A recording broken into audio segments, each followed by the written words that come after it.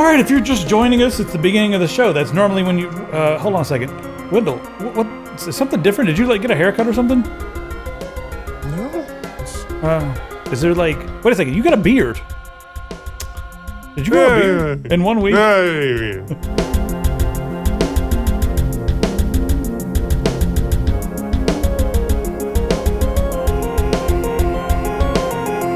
Thanks to Vivis, our sponsor. Their night series of battery packs ranges in size from 6,500 to 13,000 milliamp hours. The night version 3 also has a stand so you can watch stuff and charge it at the same time. Click on the screen for more information.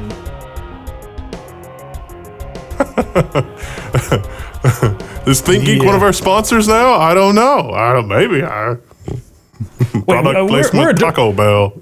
We're a direct competitor with ThinkGeek. As a matter of fact, I'll, I'll talk about our products later in the show. We've got so much to go through that we're just going to get started and have a bit of fun. So, how about um, JPEGs that are actually not JPEGs? How about a new? this is that was a terrible thing to say.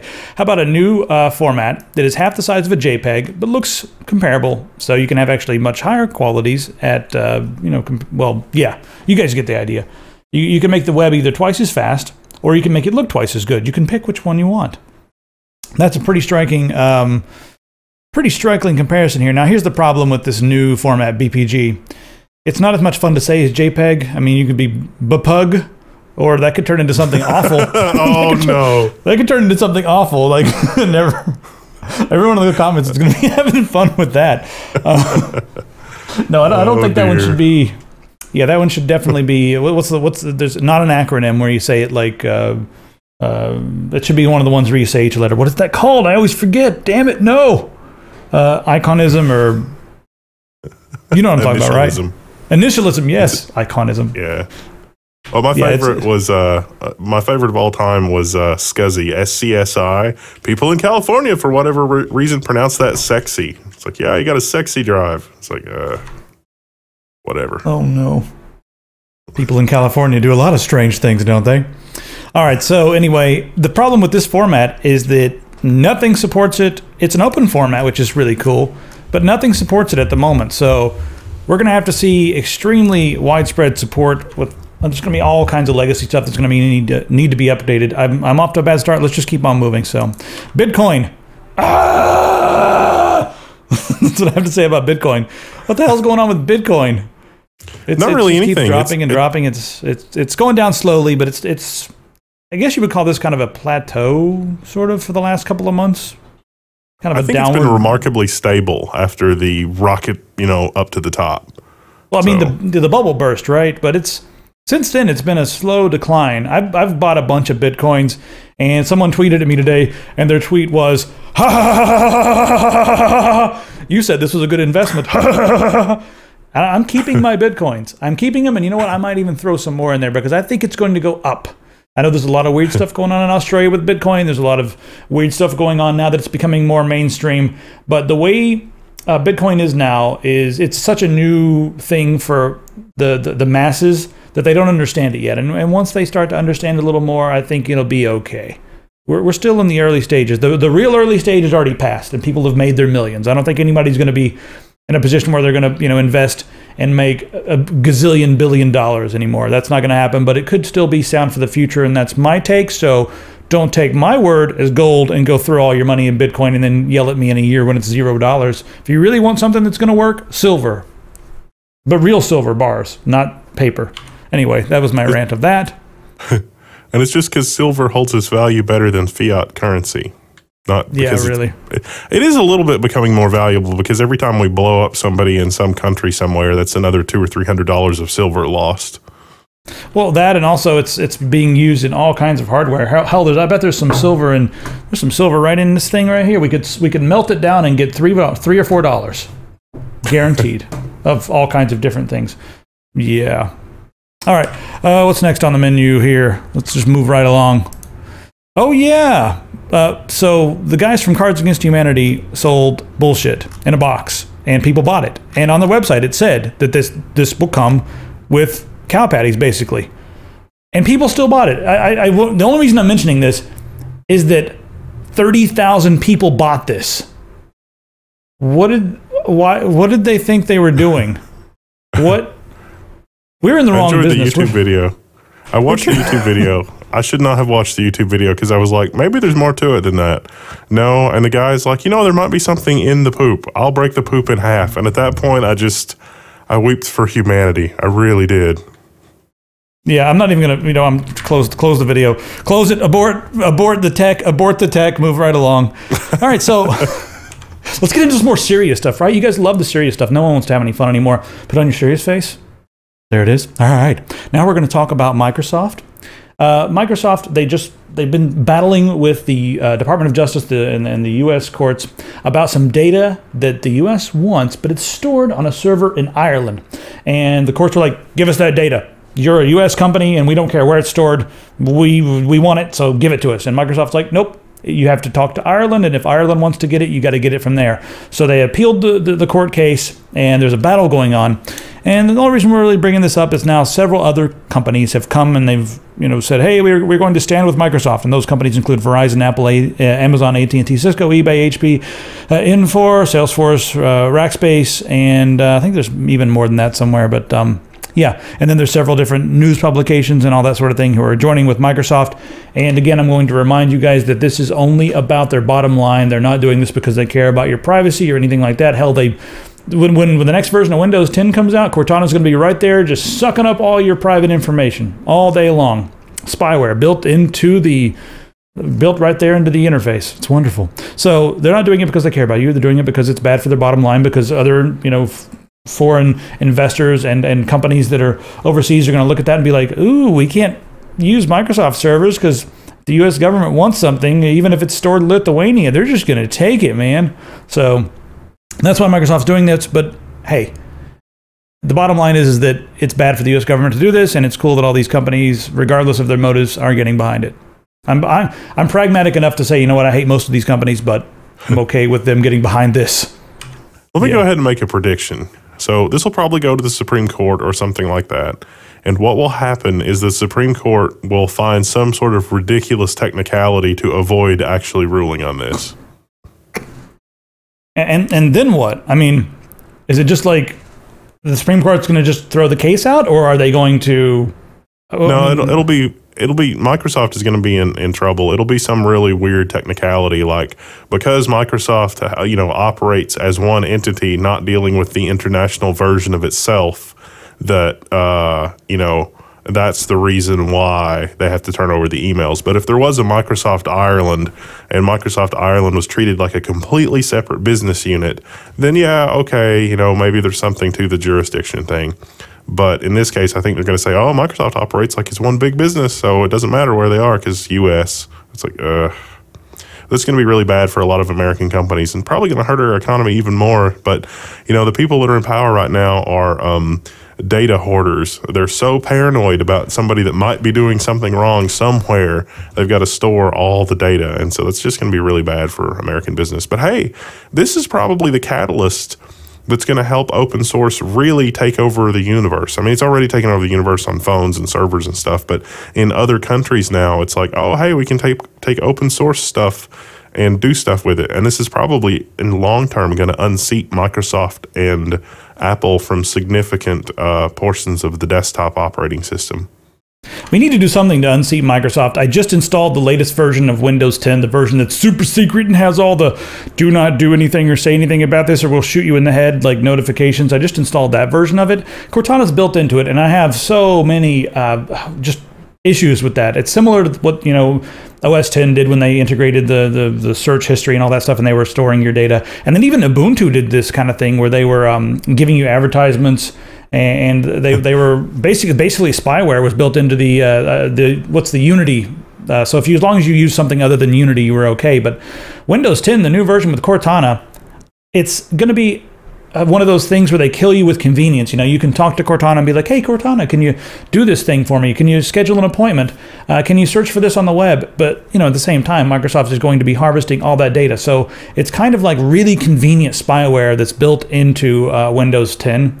And I think you can turn it off at this point, but the fact that that code is there in the background and it works with your microphone, it just bothers me. It, it makes me want to move to Linux. So, yeah, there's a lot of programs that we need open source versions of because I'm reliant upon too many uh, non free pieces of software. Sad. It's very sad.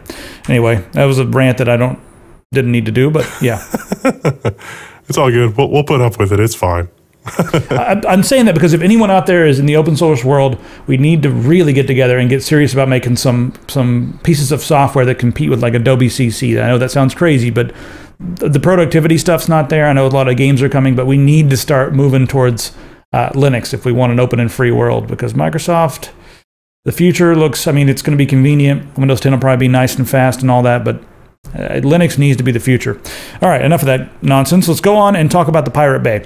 So the last week, um, I guess it was about a week and a half ago or so, Swedish police came and kicked the doors down, turned off servers, knocked the Pirate Bay offline. Several different mirrors have been popping up and that sort of thing. But the big question uh, that we posed was, what's going to be next? What's going to replace this? Because it's not they're not going to stop piracy by doing by turning that stuff off. And they're also, in my opinion, fighting uh, a nonsensical battle because people want stuff. They want to share. People have a natural inclination to share. Um, and it's just kicking down doors and turning off services is not going to fight and it's not going to keep their archaic business models alive. However that's what they're doing and they put the pirate bay offline.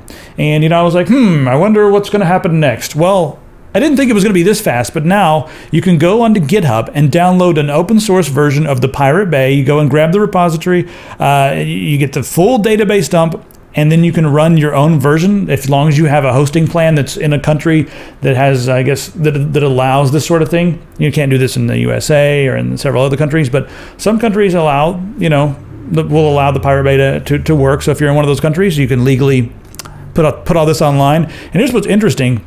Uh, they have the entire databases not only from the pirate bay but you also get kick-ass torrents and i forget what else. You get three uh, maybe it was isoHunt. I forget. Yeah but anyway, that's you, you basically have all that stuff. All the trackers are there. So there's going to be a ton of Pirate Bay mirrors. We don't need any more pirate websites. We don't need any more freaking well pirate torrent websites, whatever. We don't need any more. But there's going to be a gazillion of them now. So this is just what happens when they continue to fight the public's natural want of you know data. They want the data. They want it. I mean, it's it's a distribution problem, and they're fighting it. And instead of fixing it, they get this. So, yeah, it'll be really interesting to see how the powers that be, the MPAA, the RIAA, the, the different police forces, GEMA in Germany, how they all respond to this now when there's a million versions of the Pirate Bay floating around out there on the internet. It's, it's going to disappear from GitHub. I guarantee it. you think so? yeah, GitHub well, is going to be like, well, you know, this doesn't really violate any rules, but we're we got to take it down. We, yeah, we but we don't want GitHub's like we got a lot of people here who are doing some like serious shit. We don't need our doors kicked in, so yeah, yeah. yeah. So that's the pragmatic uh, way to do it. And here's another thing that just came out. So th- this has been going on for a long time, and now there's a version already available. Uh, researchers at uh, Delft, is that is it? Delft, yeah. It's weird. I don't even I don't know this university, but Delft University of Technology have made a program called uh, Tribler, uh, Tribler is a client that lets you download torrents and magnet links, and it also allows you to browse trackers. And people can put together lists of their favorite uh, torrents and that sort of thing, and you can just go on there and browse all of this stuff. Uh, you can create your own lists, whatever. So there's, it's more than just you know a, a thing that lets you. It's it's more than just like a uTorrent clone or something like that. It's way beyond that. Here's where this gets really interesting. It has something built in that's kind of similar to Tor. It basically sends your connection through lots of different proxies to make it very difficult to find you. If you're seeding, if you're, you're, you're torrenting or whatever, it makes it very difficult to find you. And you can sort of balance speed with, uh, you know, um, security. You can pick, you know, how many relays you want to go through.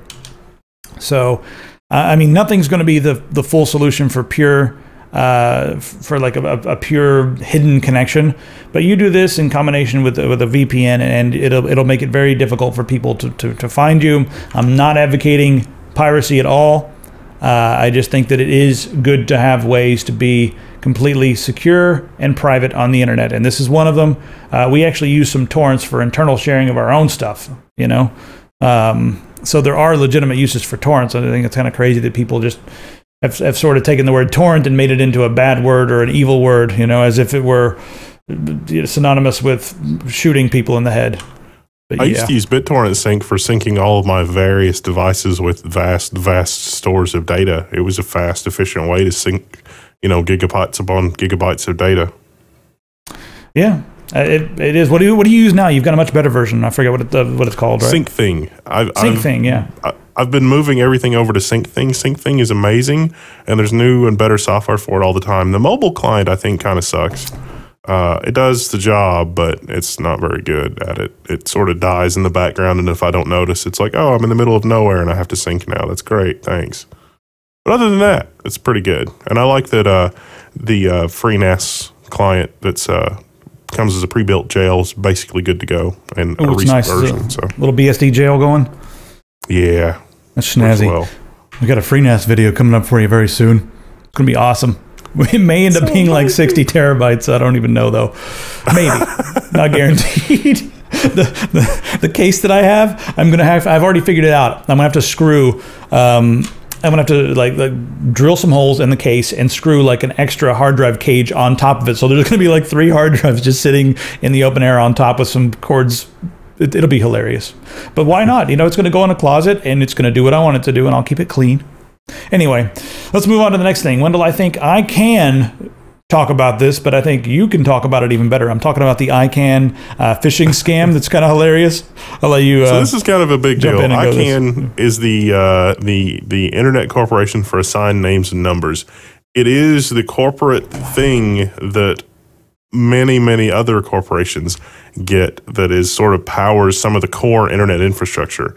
And there was a news article that apparently somebody responded to a phishing email and all of a sudden, you know, there was a virus and they didn't notice right away. And so somebody, you know, uh, said that its internal computer networks were breached as a result of a sophisticated phishing attack.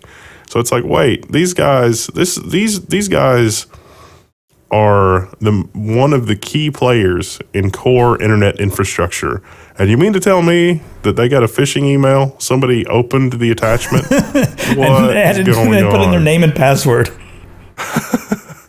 what is happening here? I just don't even. Okay, first of all, what? Second of all, they really should be using smart cards at this point. I mean, smart cards, you know, token based authentication, something. This is this is crazy. This is absolutely ICANN we're talking about here. I mean, this is ridiculous. Yeah, you know, spe- speaking of bad security, let's talk about Sony for a minute, shall we? This Sony hack, I didn't even want to cover. A few weeks ago when this all started coming out, I was like, I don't even care. I didn't even really care about covering it, but now it's getting hilarious, and there are so many layers to this. Layers like an onion, not like a cake. All right, so for, different than anywhere else, though. You've never heard this.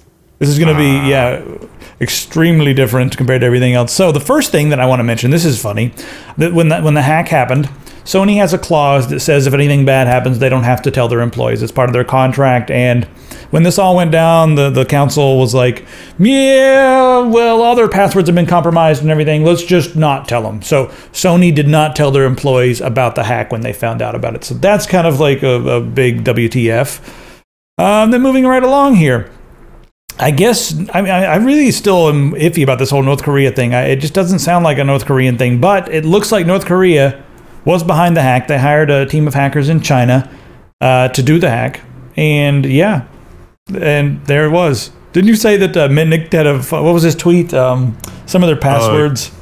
yeah, Kevin Mitnick, one of the executives, I, his name was like Mark Lurr or something, and uh, Kevin Mitnick tweeted, "It's like, well, it turns out, you know, one of the high level, high ranking Sony executives, his password was Sony ML3."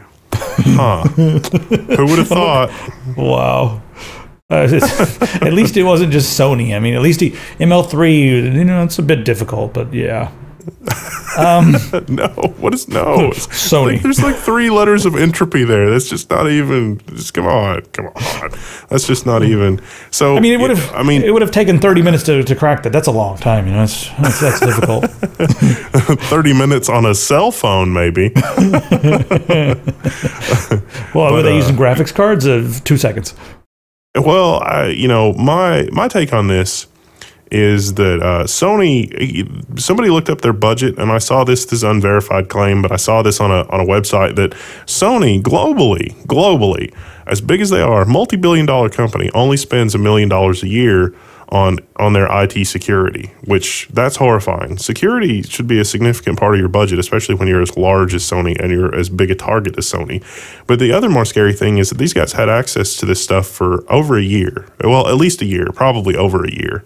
And no one noticed. So there were no audit things in place. There was nobody saying, hey, you know, this is a weird amount of traffic across the firewall, or, you know, there wasn't blinking lights on somebody's dashboard or, or anything like that. Nobody thought anything weird was going on. So that's sort of a sort of a red flag inside a company as large as Sony. I mean, you don't you don't generally expect that. And so, uh, you know, the employees, uh, Bruce Schneier came out and he was like, oh, you know, the employees are the real victims here because they're having their stuff plastered all over the internet. But this kind of thing can happen to any company. And totally that's true. This kind of thing can happen to any company. But in Sony's case, I think an ounce of prevention is, was worth a pound of cure. And I really do see some things that they could have done much better that they they really didn't do. And so now the whole thing is like, oh, we're going to pull the movie. We're not going to do the movie. Well, That- yeah, that's that's the, the next layer in the onion. So that's the, that's the next layer in the onion, and it's it's you know what's funny about this is it's it wasn't Sony saying this, even though the people who have offered. Let's go through this this article real quick. Uh, Regal, AMC, Cinemark, and several others have canceled the showing of this film because they're afraid of uh, you know like a. a the Korea, North Korea lashing out at them. Well, you know, Sony, they they were like, oh, we still want to do this. And George, who, who was it? George R. R. Martin or no? Who was it? Um, Yeah, was George. him I think it was George, Yeah. George R. R. Martin. He has his own movie theater somewhere, and he's like, "I'll run it." And then they were like, ah, "Let's not do that." You know why they don't want to do it? Because they're going to make a ton of money. Now that this is in the media and it's exploded and everyone's talking about it, and this is the they're doing that thing where it's like, hey, we got, we got this movie come out. It's going to be kind of shitty, but maybe a little bit funny. And there's a terrible, uh, gruesome death scene for, for, for Kim Jong Un at the end. And they're like, but you know what? We it's, it's you can't have it. So now everyone's even the people like almost almost me that almost got me. I don't really care about this movie, but now I'm almost like, oh, I, I very curious. What, what's all this? What, what's going on here? I want to see this. I want to see the thing that made Korea so angry. So now everybody's going to want to see it, and it's not just going to roll into theaters on Christmas and be like, hey, we're a funny movie with a shitty whatever stuff going on. It's going to be a thing. A big thing. And what they're going to do is they're going to wait a little while till the Christmas season dies down. There's a lot of competition during the Christmas season. And then it's going to roll into theaters in like the middle of January when nothing's going on, or maybe February, and be like, hey, you know what? Screw this. We're going to do this because democracy and all that kind of stuff. And we don't care. And then everyone's going to go see it and they're going to make all their money back that they're losing right now from this big breach. That's what's going to happen. Just wait and see. So that's layer two of the onion. Well, and the the other piece of evidence that we have for that is that you know a lot of theaters were like, well, we're going to show Team America instead. And if you guys haven't seen Team America, it's another terrible. It's it's not a, it's not a great movie. I mean, it's kind of funny, but it's Oh, not pretty funny. It's, it's toilet humor, and so it's something you can All have on the stuff is. background. The jokes are kind of funny. I mean, it's just it's like, eh, it's not. It's not. It's it's okay. It's not. You know, it was it was know. less toilet humor than um, the the Book of Mormon on Broadway. You, did you see that one when you were there? Did you see that? yeah, I thought it was did. less toilet was- humory than that, but That's uh, you know that's that's pretty true. Matt that's Stone you know uh, yeah, Matt Stone and Trey Parker, they do have they do have a knack of actually getting in some sort of kind of poignant things, but yeah, eh. while talking about so- toilet humor. And so these theaters were like, well, you know, we'll run Team America instead if, if Sony's not going to release the interview or if we're not going to run the interview because of whatever reasons. And uh, Sony was like, oh, no, no. And so I think what's really going to happen is there's going to be all this hullabaloo. And then at the last minute, they're going to be like, oh, shucks, you know, all you guys are interested. We can, we can be the brave Americans and, you know, not be afraid of Captain Evil terrorist crazy person. And, uh, and, you know, we'll run the movie and it's going to be great for democracy. And that's, and then it'll be like a big PR blitz again. So all this is about, I mean, the hack was real. But you know, all of this stuff since then is really just just PR maneuvering. There was a guy, uh, I don't know, somebody tweeted that was like, you know, if you guys are scared to death of Kim Jong Un, you know, if you had, uh, uh, you know, if you'd experienced Hitler, you'd be crapping your pants. so it's kind of like that. Yeah.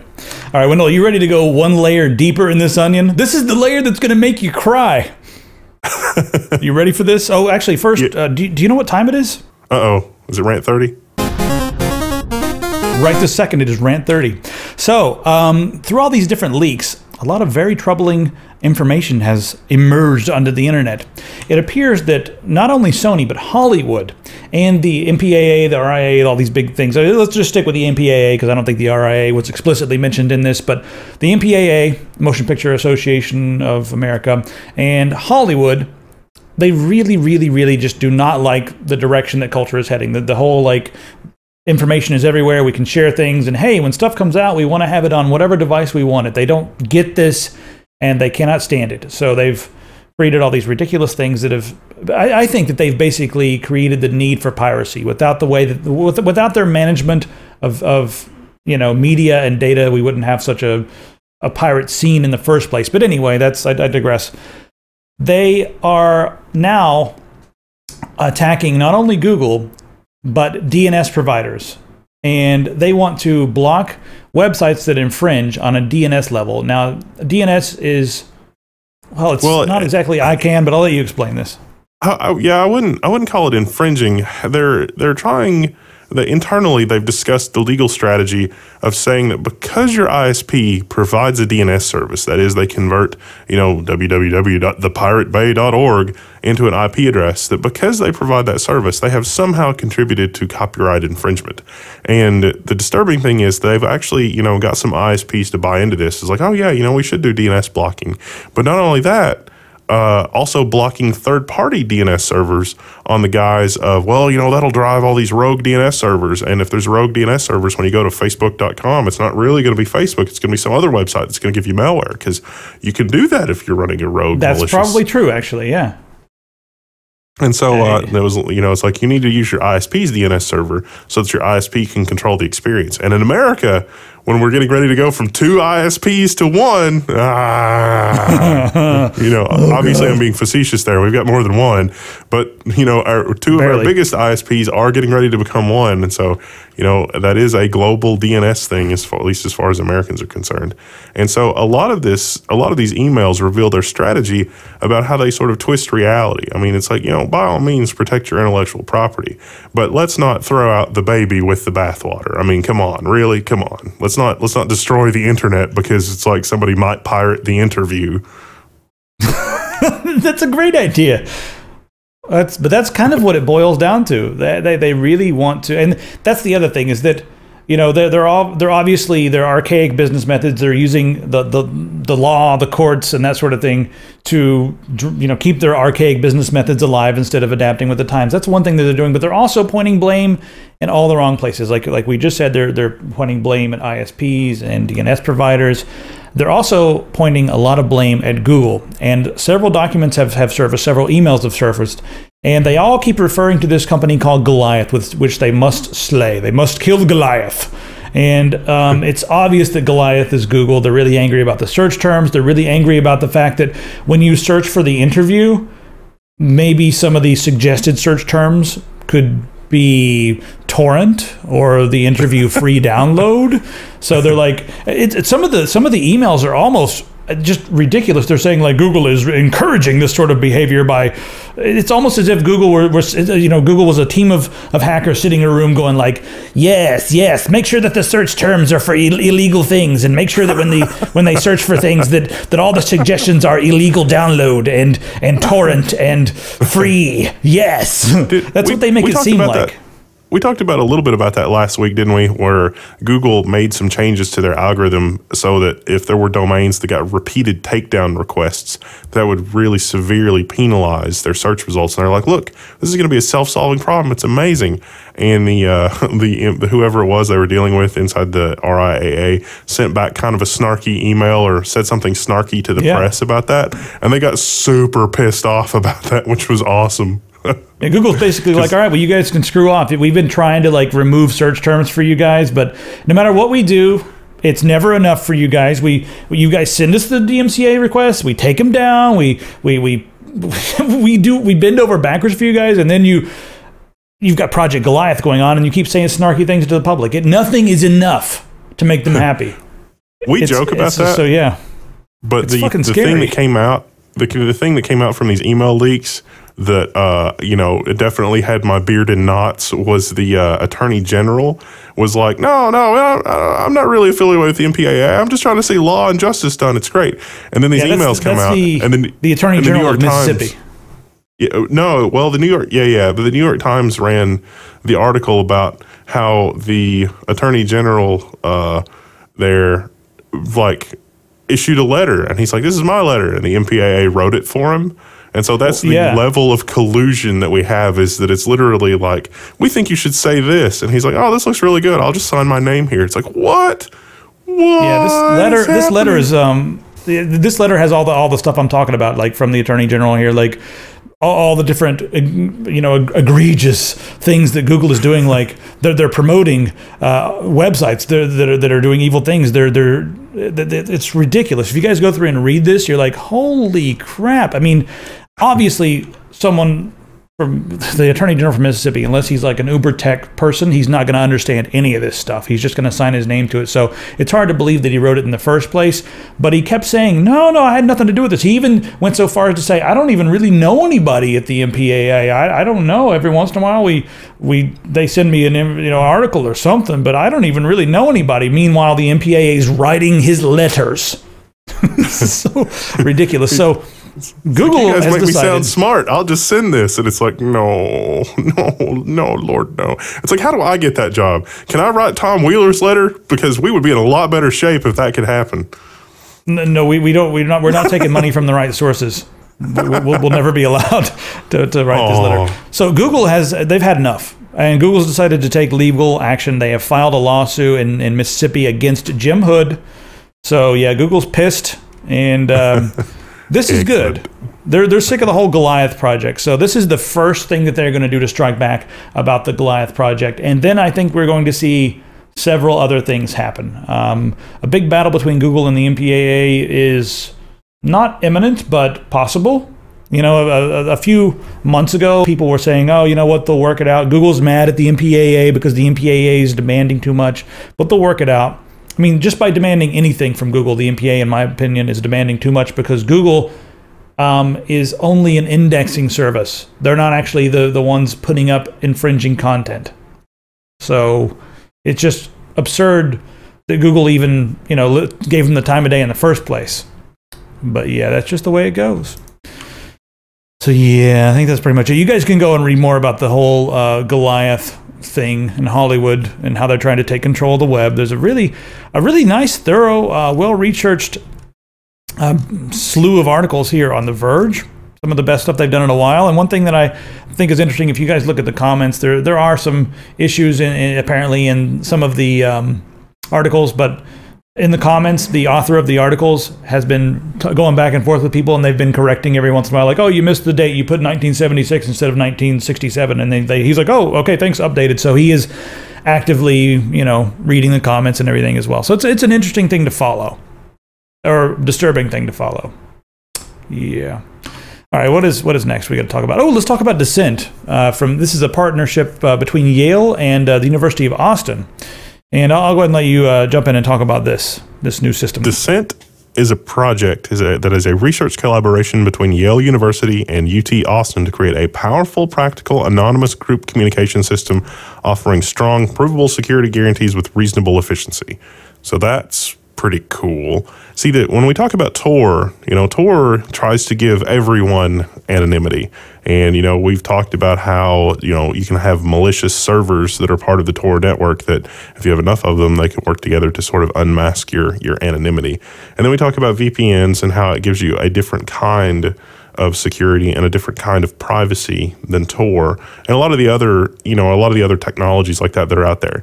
Dissent uh, is uh, really good for group communications. And so things think like Occupy Wall Street and citizen activist groups and things like that, where everybody doesn't necessarily have to be anonymous from everybody else, but you want sort of group communication where you have anonymity within the group. But you can still work together as a group, and you've you've got some level of trust, so you don't necessarily have, you know, the the ability for a few bad actors to come in and poison the well. The biggest feature about Dissent, the communications network that Dissent builds, is if you've got some servers that are that are participating, and you've got, uh, say, some malicious servers that are also participating, as long as at least one server is not malicious, the anonymity is guaranteed across the entire network. That's the design of the future. This is a project to watch, and if anybody out there wants to contribute to something amazing, this would be the project for you. Indeed. All right. Next up, we're talking a little bit about Comcast and Verizon. They've got these ridiculous um, astroturfing projects going on right now where they're smearing net neutrality. I don't really want to get into this too much because I think our audience is, is wise enough to know that a lot of the advertisements that are popping up and saying like, "Hey, if, if net neutrality happens, uh, your your mom is going to combust and your cat's going to fall out the window and a meteor is going to hit the earth and tidal waves are going to." It's basically going to be the apocalypse so that's kind of what the ad, you know, the ad campaign's going. Uh, Comcast has one's totally disingenuous. They're, the Com- Comcast one is is particularly um, evil because they keep going on and on about how they are totally cool about net neutrality. They're totally okay with the ideas of net neutrality. They're not going to do them, but they're they, that's, that's the funny thing is they don't they're not making any promises to do anything. They're saying like, yeah, we, we agree with net neutrality. They're not going to do anything. Well, the, it's, it's it's go ahead. Well, it, you know, uh, go back to the the open internet rules. The open internet rules is three rules. They won't do Don't block, don't discriminate, and don't lie to your customer. Like, if you're going to do stuff, tell your customer what you're doing. Make sure they know what it is they're buying. That's rule one. Rule two is don't block anything that's lawful, and rule three is don't discriminate anything that's lawful. Three rules. Three rules for the open internet. Well, you, you know something rules. funny? Comcast because of their hideously evil ways is is the only company that is legally bound to those three rules because they were so insidious about breaking. They, they were just crazy that so the FCC had to actually create special provisions just for Comcast to say stop it. You stop it. But but but those those expire in 2018. So right now, I mean Comcast can actually come out and say like, yeah, yeah, we we've kind of we kind of have to, you know.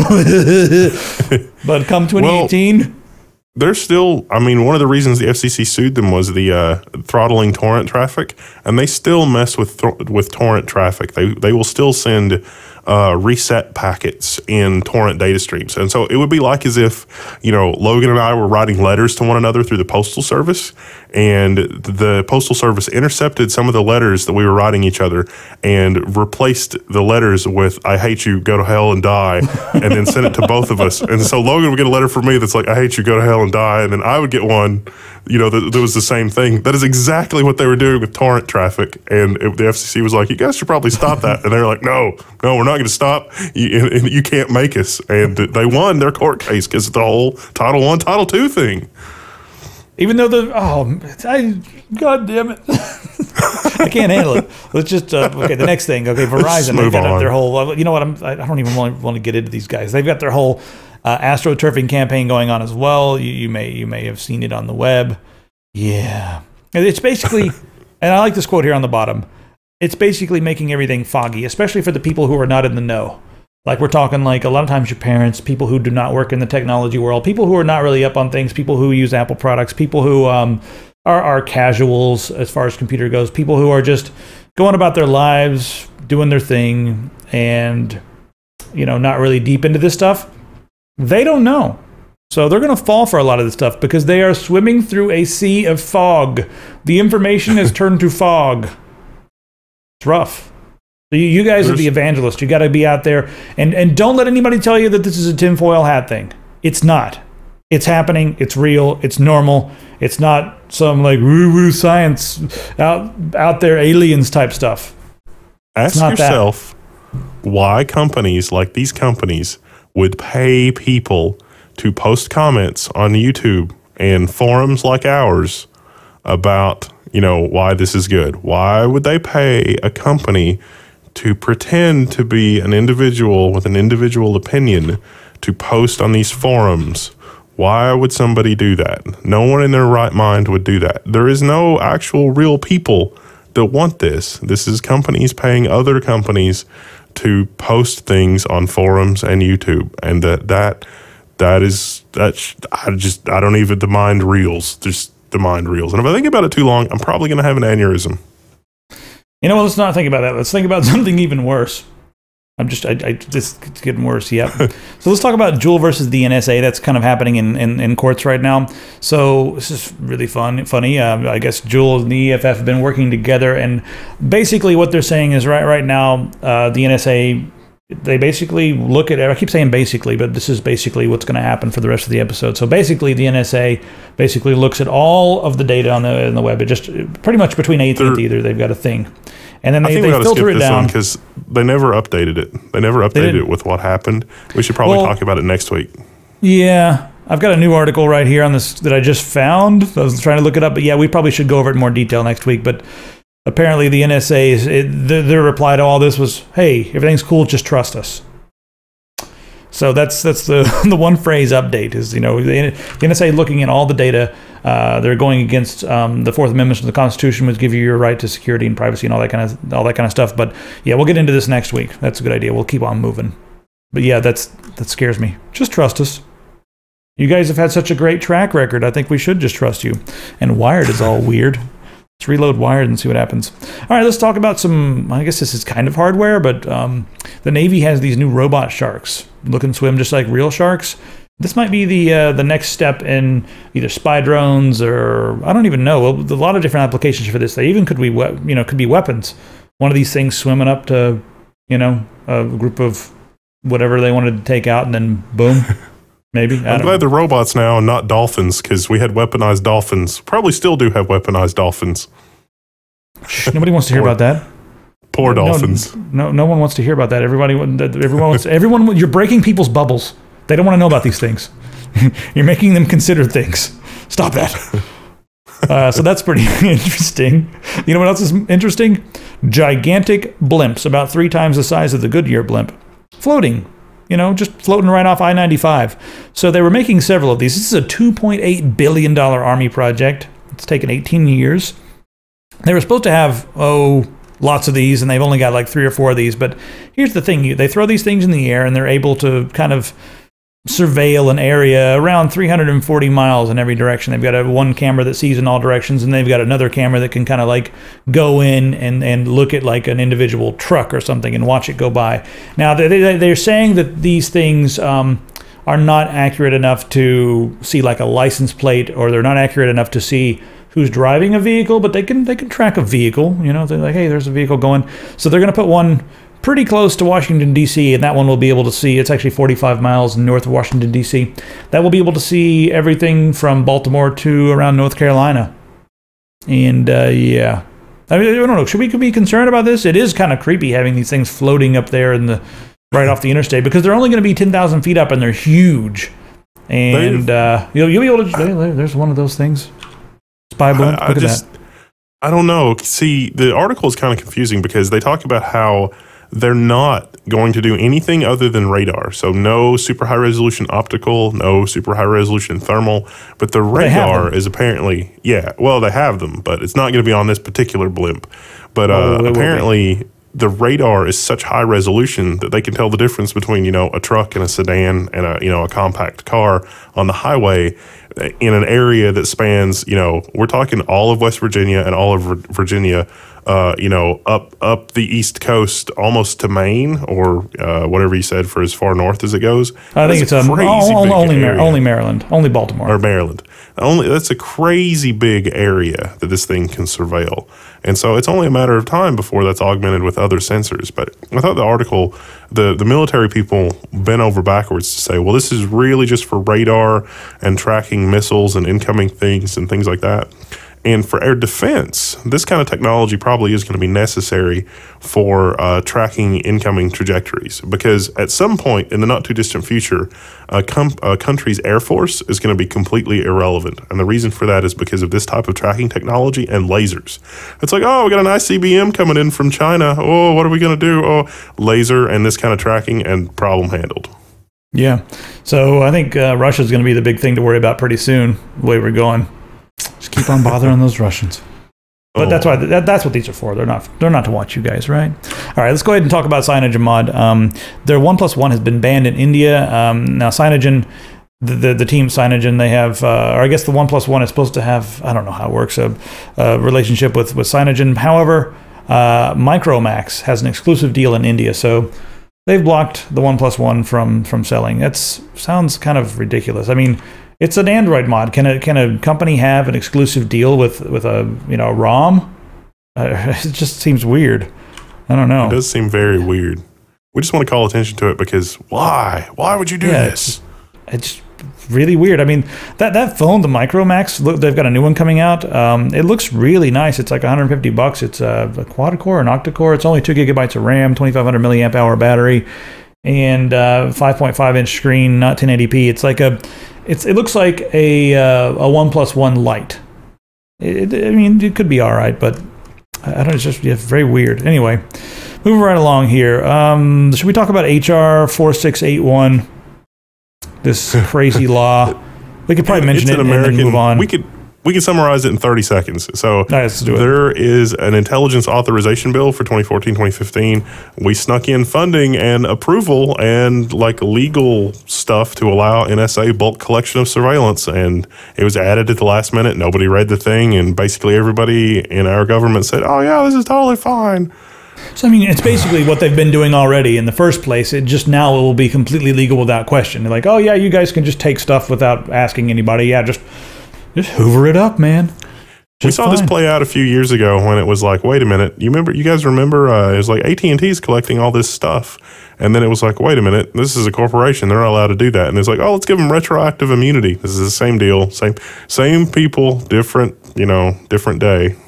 Yeah. All right, let's talk about some cool hardware. Um, this is a dock, and I've been predicting this for a long time. I think the future uh, game consoles are going to be something similar to this, possibly.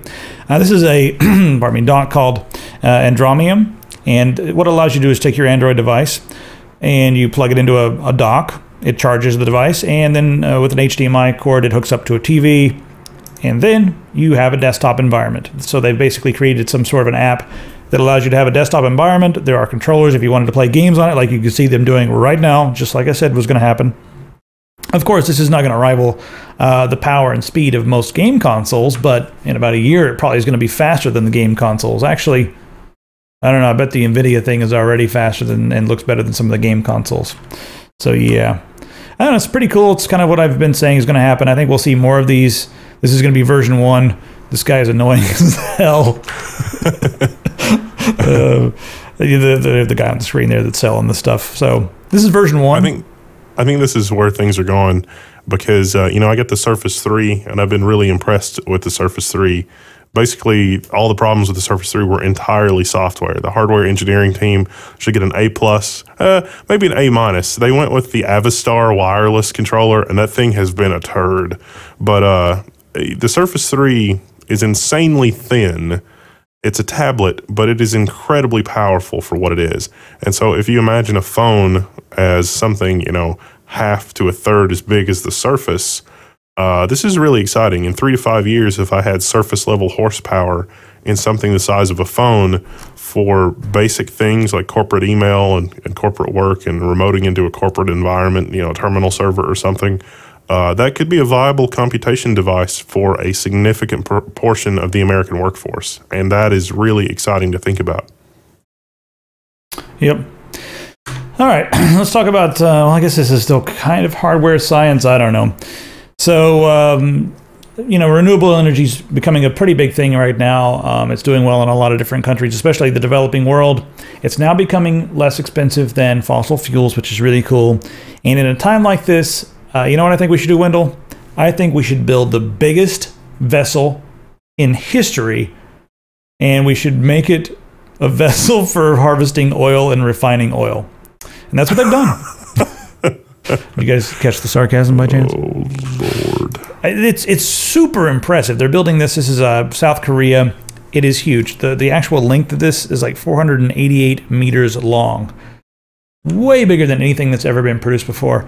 And as you can see here, they are putting uh, the refinery so they can actually break down the crude oil right there on the vessel. Normally, they have to bring the vessel back to a, location and then break it down. They are putting these 500 and uh, I mean 5,500 uh, ton things, pipe unit mes- meshes of things right on there. There's a whole bunch of them.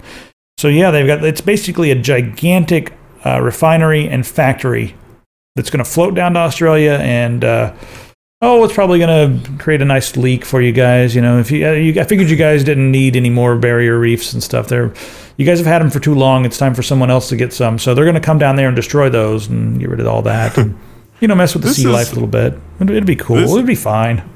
this is so reminiscent. This technology is so reminiscent of like the technology that you read about in certain kinds of science fiction that are like, you know, roving the planet side, consuming all the resources. And then once all the resources have been consumed, it just sort of moves on. It's like that for the ocean with oil.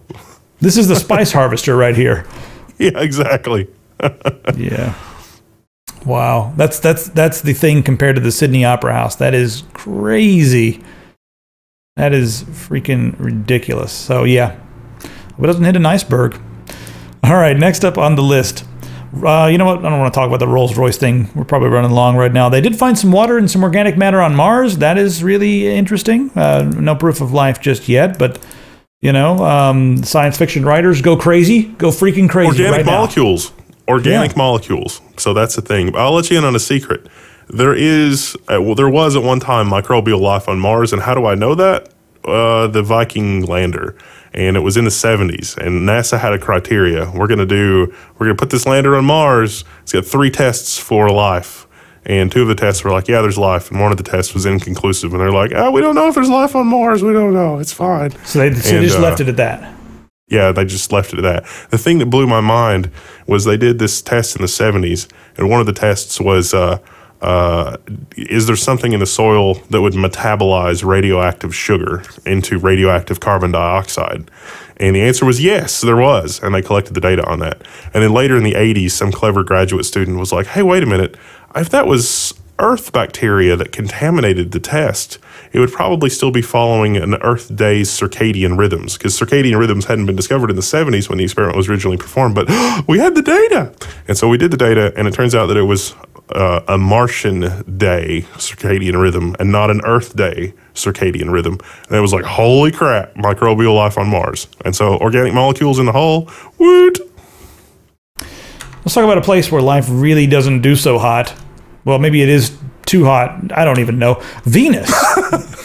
what a terrible pun. I couldn't even. I, I, I had to stop myself. I was gonna. I was actually gonna go into a bad, dark area of punnery, and uh, yeah, it was gonna be punishment for the audience. Anyway, uh, so NASA is is thinking about a manned, solar-powered airship hovering above Venus. Because the thing about Venus is, if you go down to the surface, I mean, it's like eh, you could melt lead on the surface of Venus. Anyway, if you um, float oh 50 kilometers up, it's not too bad. I mean, it gets up to 175 degrees Fahrenheit, which is I think around uh, no 175 degrees, which is 75 degrees Celsius, which is I don't even know what. Yeah, I've, I have no idea what, what numbers. It gets to some crazy numbers at, at daytime, and then at nighttime it gets to some other crazy numbers. But the bottom line is, is um, once you get up there, it's about one atmosphere of pressure. It's normal. It's cool. You you can you can do just fine. You uh, so yeah, there there would be no problem to float a solar powered blimp. Uh, and Venus also gets a lot more sun than us, so solar power would be just fine. They could collect a bunch of it and uh, study Venus, our little hot headed friend. All right, next up on the list.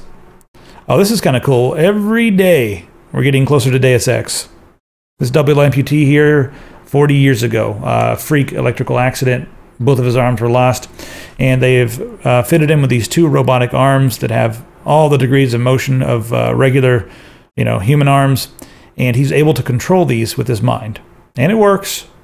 And this is the first. The first is always crude, but they they actually had to. The thing that's interesting, they actually had to move some nerves uh, from one part of his body and put them over here because the nerves were damaged. So they were able to do that. The next step is going to be fusing those nerves to bionic arms.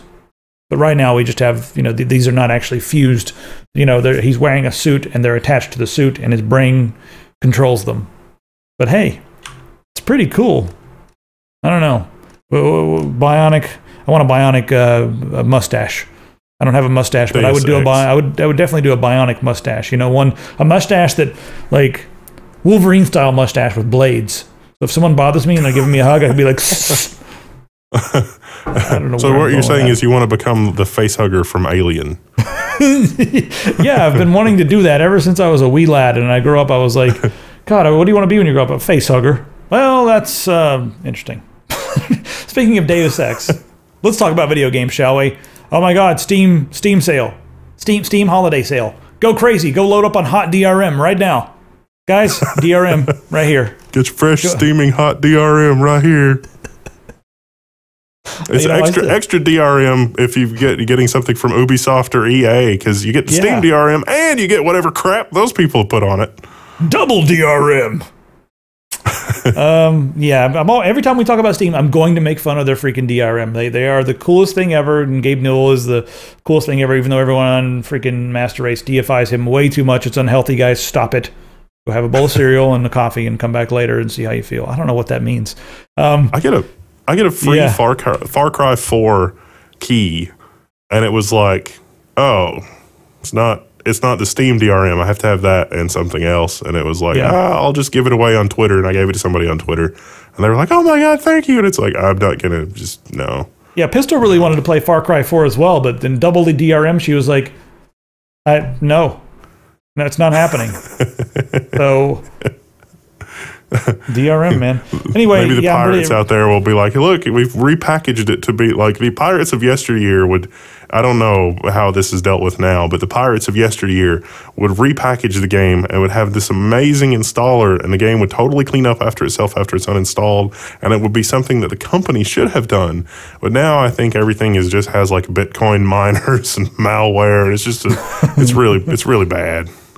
So yeah, I, I, I do use Steam, guys. I prefer good old games, but a lot of things you can't get on there. So yeah, I have to use Steam for some games. I wish I didn't have to because I don't like DRM, but that's enough. I, I'm going to leave it alone. I know you guys love Steam, so yeah, go ahead. I'm kind of pragmatic um, about Steam. It's not. It's It's the best. It's it's pirates are going to pirate it regardless of what you do, and you know Steam has not been particularly onerous in my case. Although there are examples where Steam has been onerous, but I mean, I'm not sure if this is an example or not, but Steam is region locking Russian games right now because you know the the, the ruble has crashed, um, and it's at a point right now where the games over there are cheaper, and they don't want people you know using Russian games elsewhere in the world because they're getting cheaper games. It's not fair.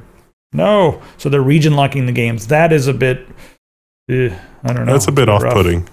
Yeah, that's a bit weird. Anyone else is off-putting? I'm gonna make fun of his mansion. Notch bought a seventy million dollar mansion. He outbid Jay Z and Beyonce with a hyphen on it. She, I didn't know she had a hyphen on the end of her name. You can't do that. Can Can you do that? Can you just do that? I don't. I don't think She's that's an allowed. artiste. She's an she's an artiste. yeah, I'm I'm uh, Logan with a hyphen over the G. That's so that's so wrong. But I'm going to do it hyphen over the G and umlaut over the L. What would that even sound are- like? There are. There are pictures of this house online, and it's Oh, I've got completely right here. insane. I He's got a that- candy room. I don't think Notch needs a candy room. the only way that I would make think this is maybe okay is if now Notch posts something to the internet and he's like calling all like super nerd programmers, come and live at my house with me and let's work on something amazing. And then it's like, okay, Notch, this seventy million dollar purchase is completely okay. And you know Otherwise, oh my like? god, it's just so decadent, it's crazy. It's not even. It looks decadent, but to to me, this looks like the the Coach store at like a faux upscale mall, one of those malls in a middle class area where people think they're rich, but they're not really rich, so they shop at like BCBG and whatever the fuck else they have in those like fake malls with the everything that looks like marble, but it's actually plastic. I'm sure this is real marble, but it looks like that, or it looks like something you'd see in Vegas. I'm, I'm making fun of Notch's mansion right now. I'm not even jealous of his seventy million dollar mansion. I'm jealous of his wine cellar, but I don't know. This is it's not my it's not my style. Some of you guys out there are gonna be like, dude, you're a freaking idiot. He's got like cars. He's got like indoor cars. He's got a motorcycle. He's got like a white stuff and some more white stuff. I don't know. I think it's kind of ugly, but got a The only thing bar. that's on my shopping list for the insanely rich is uh, Tony Stark's uh, uh, machine room with the the the Fanuc robotics and the uh, mills and and lathes and people to run them. And uh, I think we talked about that before. It's like if you get fabulously wealthy, I would be just hiring people to work on my side projects that I have ideas for. You know what, Notch can he deserves to retire. If he wants to retire, goof off or whatever, he can have this junk. It just it seems a little out of character for him to be in in uh, Los Angeles after him always talking about how he's sort of an introvert and doesn't really like the fame and didn't really anticipate his Minecraft to blow up this way. So that always it seems out of character for him to do this, but he can do whatever he wants. So I don't care. I don't have to like it. And if he doesn't, if he wants to have developers come there and live in the basement and make things, he can do that. But if not, I think we might need to do that. Plot twist: He bought the rights to Goat Simulator and is working on Goat Simulator Two. Probably. Yep. I. I. Yeah. What's this? Oh yeah, I forgot to put this in there. Empire threatens Alderaan-like massacre of Star Wars released. I was going to put that in there earlier. It would have been funny. That picture Oh, well. funny. Well, I have decided that it is funny. So everyone else on the internet, let it be let it be known that it is funny. well, I wonder if I wonder if uh, PC Master Race is going to call us blasphemers for making fun of Steam. I think they might. Guys, don't do that. They might. You guys really need to give good old games some love for the love of God. I know a lot of you guys are a bit younger and don't know about a lot of the games on good old games, but I'm talking straight to the guys on our PC Master Race right now. Check out good old games. Give them some love. DRM free and older games. I got newer games too, but you know, that's that's my platform of choice.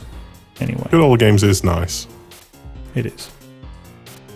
We sound like NPR right now. It's very nice. Yeah. Hmm. Hmm. Yes. Uh, I've gone to good old games and I'm now distracted by how many things are on sale and how much I'm going to have to spend later. All right, that's that's. I believe that's what I'm going to do as well. All right, guys. Hope you guys enjoyed this episode. That's going to be on late because it's late right now, and yeah, I, I better go edit this thing. I need to. This is the ending. Oh, thanks for all the tech support people. We've got new stuff in the store. You guys are going to have to see this. The 30 people that are left watching this crap are going to be forced to look at the store right now because we have new things that are really fun, and uh, we've got these new coasters in that are really. This is um basic 101 wood shop stuff right here. We took things that fell from trees like branches, cut them into coasters, and branded them with our logo. Did you see these yet, Wendell? The the logo branding on Epic Pants that we did. It's um silly. These are supposed to look rough. These are rough. The beer openers are rough. Everything that we have on there is rough. It's unrefined. It's not sanded. It's not stained. These are ugly. They're, the bark is going to chip. It's going to be, uh, they're, they're, they're going to look weathered and tough. So you get them and expect them to be like perfect things. No, these are handmade. And I told the guys that, that chop these things up to make them rough and ugly. Just like me. Oh. All right, so that's the end of the episode.